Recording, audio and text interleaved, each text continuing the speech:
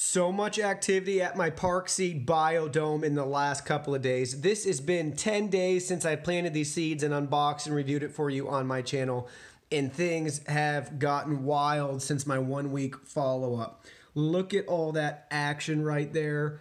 Everything seems to be sprouting, which is so fun and so exciting. Look at that one right there.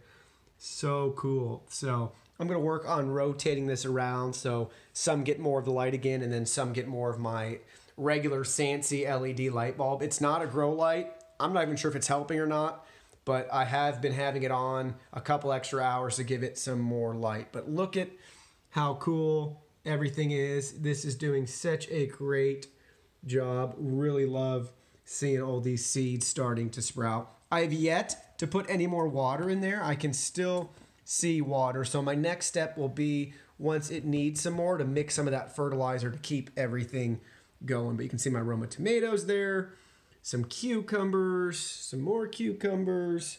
So really, really happy. The link to this product is in my video description below. Please go ahead, check it out. You can also check out my unboxing and review video of it.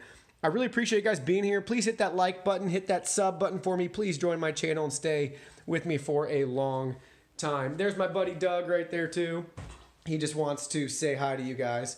But um, yeah, please uh, follow me on social media as well: Facebook, Twitter, Instagram.